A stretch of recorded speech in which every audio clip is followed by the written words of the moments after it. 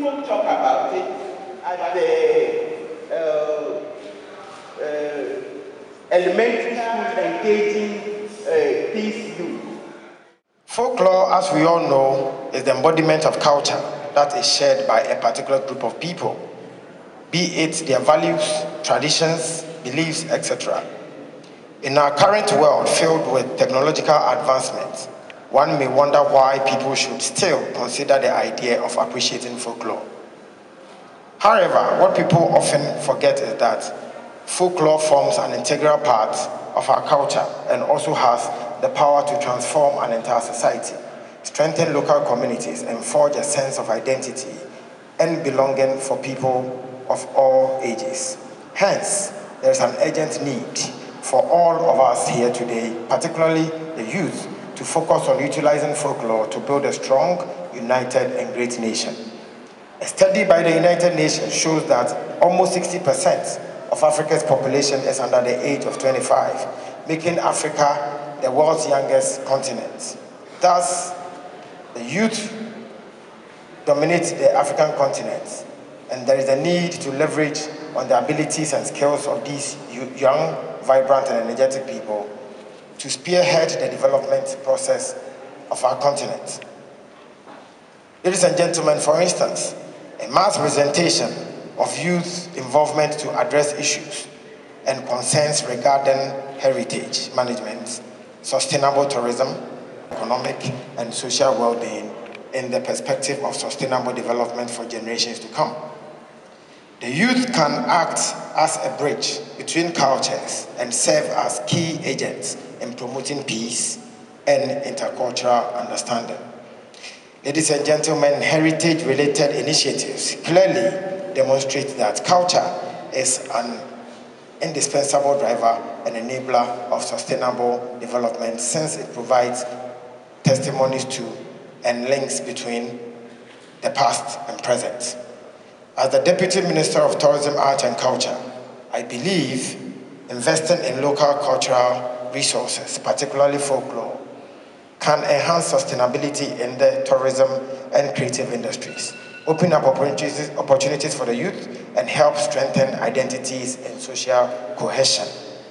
Tourism in itself has a way of bringing individuals and human communities together to experience diverse cultures and civilization, making tourism play an important role in facilitating dialogues among cultures. Tourism also has the capacity to help people live better lives together, thereby contributing to the, the construction of peace in the minds of men and women. Fortunately, most tourist visits are influenced by the cultural endowments and natural heritage of a society. This in turn provides we Africans an upper hand to develop attractive tourism products from our folklore and culture to attract many tourist visits to our continent. We must therefore create awareness, educate, and train the youth as well as involve as well as involve communities in the process of conserving and enhancing cultural heritage for, the sustain, for a sustainable tourism development. Again, the involvement of each and every one of us here today will enable the heritage of humanity to be better preserved, living conditions to be improved, and poverty reduced. Preserving cultural and natural heritage to bring it within reach of all, making cultures and civilizations better known, improving daily living conditions, and reducing poverty is what gives meaning to the sustainable sustainability of tourism development. The Ministry of Tourism, Art and Culture, with the National Folklore Board and other cultural agencies, are working hard to develop and implement tourism policies and activities, which involves the participation of communities, particularly the youth, in the preservation and enhancement of the Ghanaian cultural heritage in the long term. This initiative, ladies and gentlemen, will create a strong relationship between tourism and culture to help Ghana become a competitive and attractive place to live visit and make business, investment, and drive sustainability and development.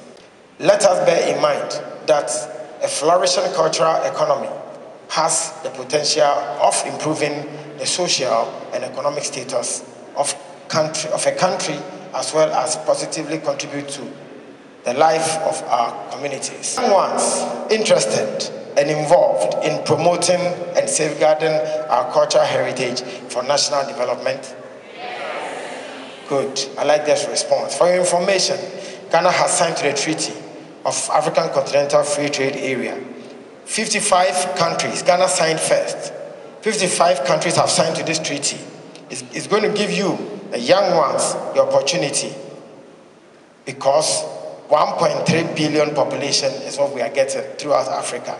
A big population to operate within.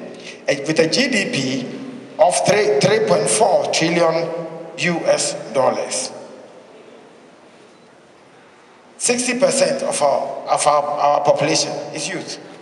So if 60% is under 25 years and you're youth, and you are going to operate within 55 countries as young entrepreneurs coming up, with a GDP of 3.4 trillion cedis, the most important thing for here for, for this here and now is that culture is the commonest we find within all these countries.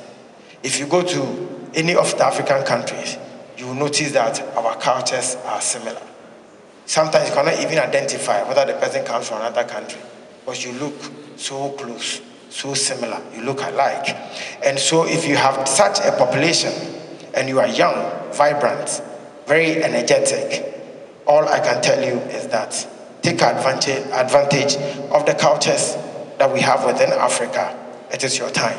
I only encourage you to go for it. On behalf of the team, I respectfully, humbly take permission from Nananom and all my seniors that I find behind me to call today's program launched.